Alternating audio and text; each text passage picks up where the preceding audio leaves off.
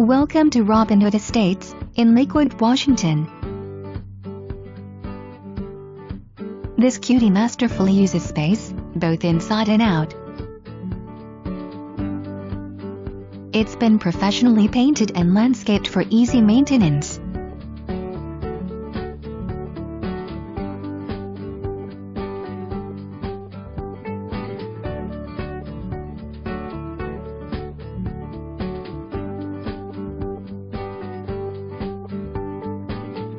With a matching storage shed, landscape curbing, grass, trees, and shade, this fully fenced backyard offers a park-like setting.